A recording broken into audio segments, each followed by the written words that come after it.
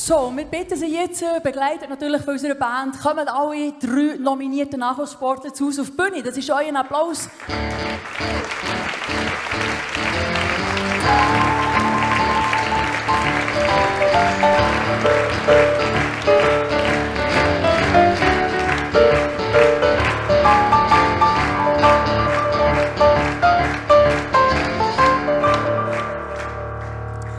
Also die Regierungsräte, die dürfen Diplom übergeben. Wir haben.